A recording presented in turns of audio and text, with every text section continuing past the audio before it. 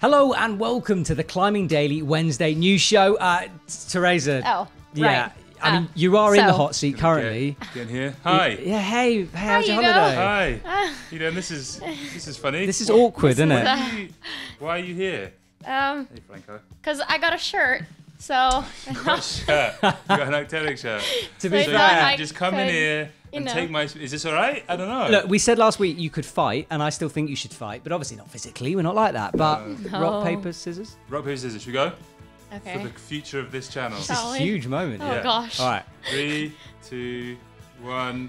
You've, you've no, we didn't do it. immediately Right, that's that count, that's that gone count. wrong. No, you count. Right. So boom, boom, boom, go. Go, yeah, all right. yeah. All right. Cielo. Boom. Sorry, hang on. Boom, boom. I forgot to boom, boom. I forgot the boom. Yes, All right, ready? Boom, boom, boom, go. Oh! Teresa's got it. Go on. Scissors. Oh god, no. Bye bye, everybody. It's been fun. Bye, Hugo. Good luck. Thanks. Uh. Okay, look, Hugo is not gone forever, of course. Teresa, you're going to be taking over his spot on the main news show, but Hugo will be back. He's going to be the voice of reason, the expert, and in fact, he's turning up in this show in a couple of minutes. Yes. So, Hugo fans out there, do not worry. We've still got your Hugo back. Okay, so let's kick off with uh, comp climbing news. And we've been streaming the Austrian Summer Series Cup on the Epic TV YouTube channel, and round two happened last week. The Austrian Summer Series is taking place in Innsbruck, Austria, with athletes competing from around Europe. In the women's comp, it was Austria's Johanna Faber who continued her form from the first round by grabbing another win. She's on a roll. It was a close run thing though, with Swiss climber Petra Klingler pushing her to the end, gaining second, and Jessie Pilz coming in third. In the men's comp, it was Austria's Georg Parma who gained control early and kept his lead, with Sascha Lehmann keeping the pressure on in second and Jakob Schubert in third. So that competition has been streaming live on the Epic TV YouTube channel, and but don't worry if you don't want to sort of hack through two hours of replay footage, we have put the highlights up, so the men's winners and the women's winners on Climbing Daily, so you can go back and just sort of see their journey through the competition. But newcomers is the thing I'm taking away from it. Johanna Faber, like where did she come from? She's absolutely crushing it. Yeah, and George beating Jakob Schubert. Yeah, I, mean, I didn't know George was, Oh, Mr. George wait. Parma. Sorry.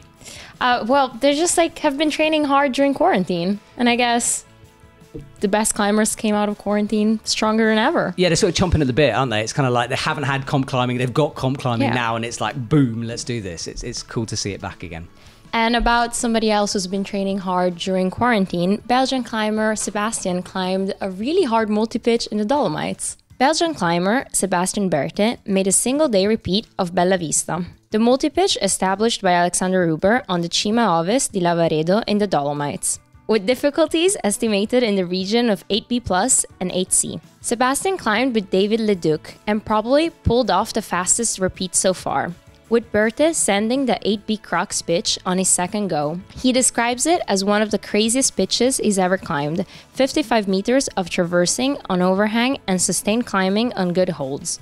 So, Sebastian, he's not new to multi pitches. I mean, he climbed the nose and a couple of weeks ago, La Voie Petit eh, on the Grand Capucin. So, now in the Dolomites. Yeah, I reckon it's a good time for mountaineering because we've got this Yeah. sort of quite stable conditions over the Alps, but it's still cold, so everything's not falling down yet. Uh, and sort of sticking with the mountaineering theme, uh, on the wild side of the Mont Blanc Massif in Italy, a new multi pitch has been ticked. Matteo Della Bordella. Francois Cazzanelli and Francesco Ratti have put up a new route on the red pillar of the Brouillard. With difficulties up to 8A, this is a stunning new line found and pioneered by Matteo in a truly wild area. Federica Mingolla and her climbing partner Leo sent it in a day, staying at the Eccles Hut. So awesome multi-pitch line, but also surely one of the fastest repeats of a multi-pitch line. Um, Federica, I was actually up in that mountain region when she was doing it. She was planning to stay for two days, did it in a day, got back to the little bibby hut and was like, all right guys, I'll see you later. Went off down the valley for a beer. So I'm very jealous of her, but nice send. Congratulations. And Matteo for finding the thing. Yeah, well, crushers. And about girls crushing it, uh, Alex Puccio is back with another 8B. Alex Puccio has repeated Doppelganger Poltergeist, an 8B boulder in the Rocky Mountain National Park. It's her fifth 8B in the last two months. Come on, Alex. Come on. Come on. So awesome. Another ascent by Alex. And there's an uncut video of her sand on her Instagram page. You can see her chalk bag getting caught at an uh, not ideal moment. Well, so it gets hooked on the rock as she's A little bit. She was like, she wrote it was like on the last jog, but still, you don't want something to like Oh man, I would lose caught. my. I would lose if I'm on a jug at the end of like a hard route and something like that happens. I'd, Yeah, just, just I'd like, have disco legs. I'd have everything. I'd just be like, "Come, someone help me!" That was a weird face. Um, more bouldering news now, uh, and it's good to see Staša Gejo back from injury. Staša, who has been recovering from a nasty knee injury and surgery, has returned to outdoor climbing. Staša took a trip to Magic Wood, and despite, by her own admission, not being an outdoor climber, she sent Jack's Broken Heart, an 8A Plus, amongst other climbs. Also on a roll is Brooke Rabatou and Natalia Grossman, who have both climbed the boulder The Shining, an 8A slash 8A plus. They both sent the route quickly despite the pond that was beginning to get bigger at the bottom of the climb. So cool to see Staša back. We were there when she hurt her knee originally in studio block. She's been working super hard on rehabilitation. She had that surgery. She's back on Real Rock, and I can't wait to see her climbing indoors soon. Yeah, it's good to see her back. And next up, crushing kids in Spain. 10 year old climber Theo Bas, who did an 8C in June, has done Ixea 8B Plus in Rodellar, Spain. He spotted the line a year ago and was dreaming about it ever since. He just needed 6 to 7 sessions to send it. So, Matt, how much do you hate slash admire this kid? Yeah, thanks, Hugo. Uh, this is an ongoing thing. Look, I, it's not much I don't admire him. I just dislike his age and his talent and his skill um, because I have a lack of all of those things. So you know, it's not a hate. It's just a, it's slightly a hate. Okay, it's a hate, Hugo. All right, fine, fine. just looking at me with judging, judging I mean, eyes. you know, he probably worked really hard for it. Oh, I'm sure he did. Great with his talented little thing. Anyway, right, uh, we are talking about Adam Ondra now, uh, who is potentially the GOAT. And he's been a bit quiet recently, but we've now seen him come back with a bang. Adam has climbed two 8C slash 8C pluses, which were on site and a first ascent. He's also been sending 9As, climbing Orca, a 9A, and Walk the Line, also 9A, both in Austria. Okay, so there was no pictures or video. Usually we put stuff up over my voice because I couldn't find any pictures or video, which means I reckon that we're going to see a YouTube YouTube. video. Exactly, yeah. Because he's, he's big on the YouTube. He's a YouTuber. He's Yeah, chasing he- us.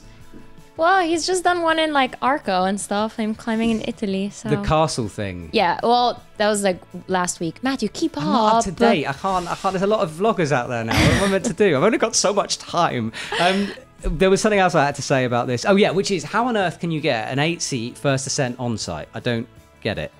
But it's Adam. He's done. So that's the answer. Yes, Just Adam. Just Adam Ondra. Do you need to say anything else? That's a good point. I will. I will shut up. It's just, I've just never sort of seen that that on-site first ascent thing. So he kind of Mm. like he turned up. He had a look at a route. No one's climbed it before, so we didn't really know. And then he first ascends it, and then apparently he upgraded it as well because Oh. someone like suggested a grade. And he up. I. It's it's Adam, I suppose. It's Adam, and like, yeah, I guess the routes were. If somebody else tried the roots, they probably talked about the grades as well. Yeah. He proposed a little upgrade, which is unusual. Well, for Adam, yeah, usually he's a Is he downgrader, right? isn't he? Yeah, maybe Yeah. he's sick. Adam, are you Oh, okay, mate? Adam. He'll be fine. He'll be fine.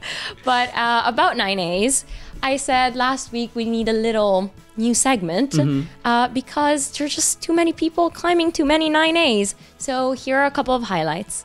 Dave Graham sent Auto Engaño 9A in Rodellar, Spain, bolted by Spanish climber Dani Andrada back in 2008. Dave said it took some adjusting to the steep and powerful style of climbing, which is quite shocking compared to the tacky, crimpy walls of Siurana. Slovenian climber Domen Skofic has done the first ascent of Umetnost, proposing the grade of 9A. He describes it as the best hard line in Slovenia to date. Laura Rogora, who has qualified for the Olympics, reports on Instagram that she has done the 9A route, the bomb, in Collepardo, Italy. The route was freed by Fabrizio Peri right before lockdown. So, Laura, back on our counters. And with this route, I think she's done more than like, definitely more than 10 9A routes. Yeah, and this year especially, she seems just on fire. Yeah, she's winning it. You said there were lots of 9As, right? Because we were going through this before the show. So many more. Like, what, 10 we found? Uh, I think I think ten or more. Yeah. So look, we sort of picked the highlights Sorry. out of it. We could not cover them all. There are lots of Yeah. 9As being sent. Guys, just, you know, be less good, please. And I also tried to pick the names I can pronounce How did that go? badly. All right. Um, another gentleman sending ours is Drew Ruana. Uh, I always say that weirdly. I don't know why. Drew Ruana. Ruana. Ruana. Ruana. Uh, but he's back once again. Some more 8C action. Drew has made the second ascent of a Daniel Woods test piece, Box Therapy, an 8C plus. It's a sit start to a previous Tommy Caldwell 8A, and it's got 18 moves on a 50 degree wall. So Drew sort of moved away from competition climbing a little bit into this outdoor world more, and I mean it's paying off. He's absolutely crushing because he did Sleepwalker, you know that other 8C plus. Um, uh, the um, Jimmy one. yeah, the one yeah. with the horrendous like bah, move Yeah. left. That one. That's the only way I can describe it. Um, so yeah, he's on form. Nice one, Drew. Oh, that was a big news show, right? counter. Yes, counter, time. Counter time.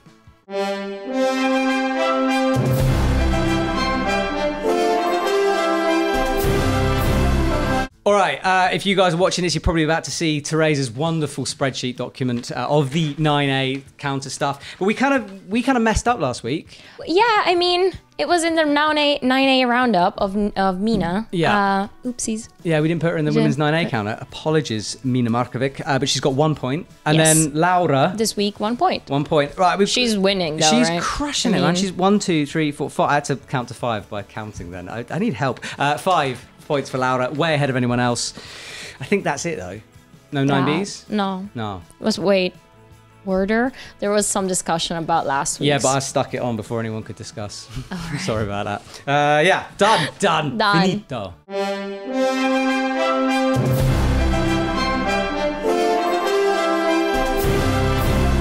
Hello, We said you'd be back. I'm back. I'm back. Can you just move that way a little bit? Come on, Just out of frame. Hey! Ooh. Come on, get back here. Um, Um, So we're talking about medias. Yeah. You want me to talk about medias? I would love you to. You- You're the media expert on Epic TV. What have we got to look forward to this week? Okay, well, what we got to look, look, look forward to, uh, we- what, we're going to look back first. Okay. We're going to go back to Climbing Nomads, which released last Friday. Mm-hmm. Uh, it's a story about them going up at the multi pitch, the Espelon Central, which is in the Puig Campana mountain in the south of, uh, south of Spain. Uh, it is, um, well, here's a little clip.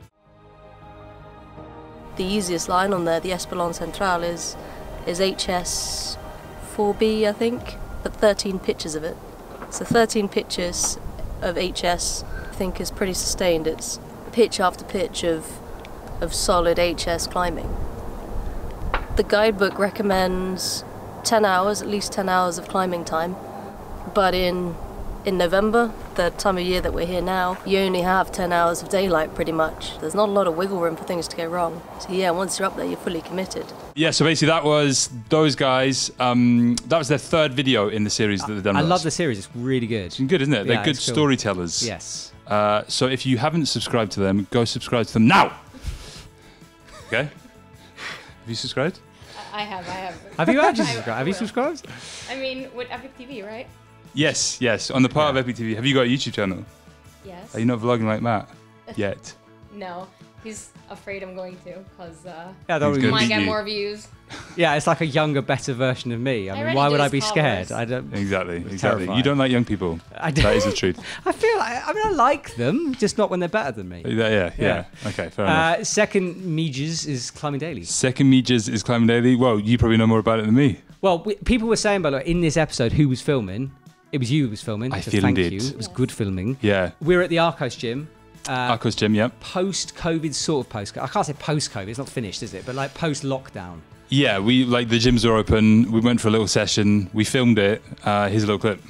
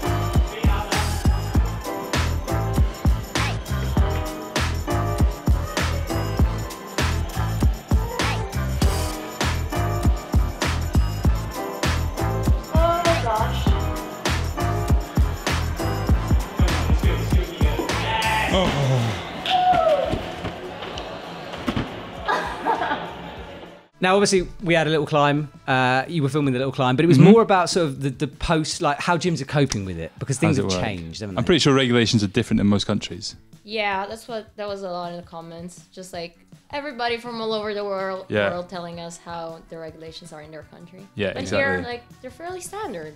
Like yeah, chalk and then masks. Yeah yeah. I did notice there wasn't. Well, there was a.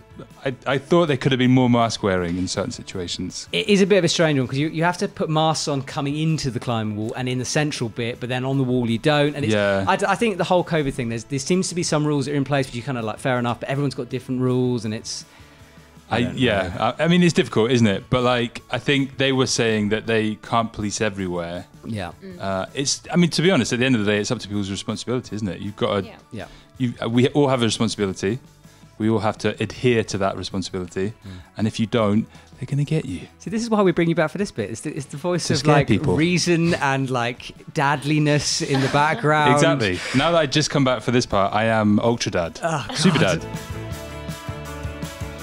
super Scary. super filmy dad. All right. So thanks. That's Super all right. Filmy Can I go Dad. now? Yes. Thank you very much. Thank you. Thank you.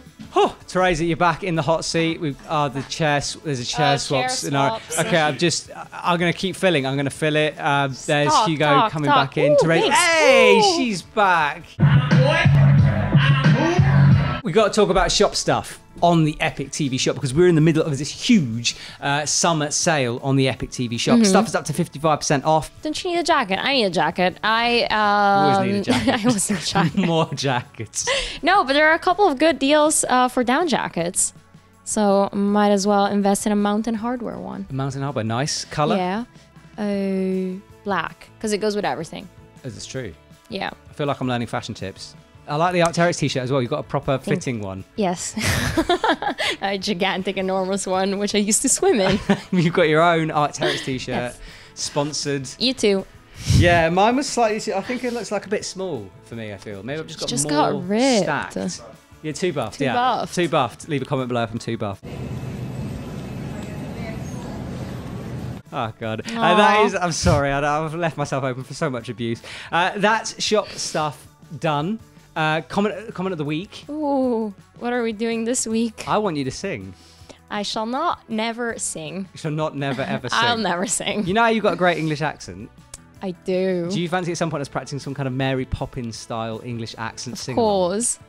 Shall I do it? Shall I do? I do Shall I comment do of the it? week. Shall I do in a respo- comment of the week? I think you should like that. I'll, yeah, I'll do. Dick Van Dyke in Mary Poppins, and you just do your accent. All right? My One- accent is better than yours, Matt. How dare you? A lot of people have said it. Right. A lot of people have said it. Right. do you want me to Dick Van Dyke or just normal pop? Uh, I want you, uh, Dick Van Dyke and All right. Mary Poppins. Comment. Comment of the week. It's comment of the week. I'm Dick Van Dyke. I just enjoyed that. Fine. extemporized and thought up before your very eyes. Okay, it says from Zom Germs. Didn't read that properly. Zom Germs. What is a Zom Germ? Germs? Uh, it says big F for Matt's pulley. This is my finger thing. I've tweaked, blown, whatever. I don't know what big F is. Big forgiveness to my body for letting me down. I think it might be the, the, the naughty word, the F word. Like big. Nah. Ah. But I don't know. I'm not cool enough. I thought you've been down with the kids. You know this kind of stuff. You're the Ute. I knit. You knit. You knit. You actually knit. Yeah, of course.